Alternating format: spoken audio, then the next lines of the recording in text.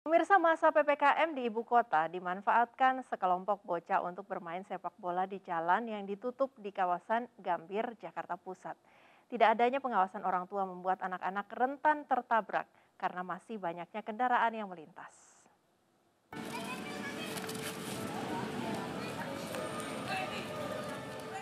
Anak kota tak mampu beli sepatu. Anak kota tak punya tanah lapang. Begitulah cermin sejumlah bocah yang tinggal di kawasan Cideng Gambir, Jakarta Pusat hingga harus bermain sepak bola tanpa alas kaki di badan jalan.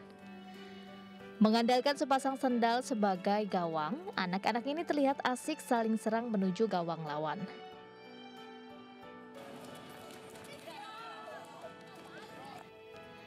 Pekik teriakan meminta operan bola kian menambah seru permainan. Namun mereka harus menyingkir ke tepi jalan ketika ada kendaraan yang akan melintas.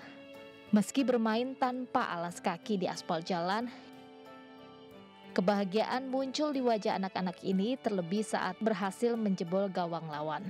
Sayangnya kegembiraan bermain di jalan raya membuat mereka lupa akan bahaya yang sewaktu-waktu bisa saja terjadi karena sejumlah kendaraan roda 2 dan 4 tetap masih nekat menerobos ruas jalan yang telah disekat.